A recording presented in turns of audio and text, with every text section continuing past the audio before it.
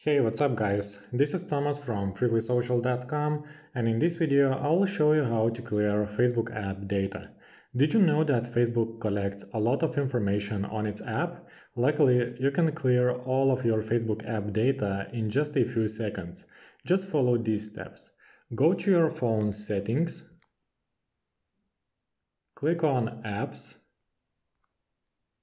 and select apps one more time again. Search for Facebook app and click on it. Select storage. Click on clear data. Click OK to confirm. Done. You have successfully cleared data on your Facebook app. I hope this guide was helpful and you were able to clear Facebook app data.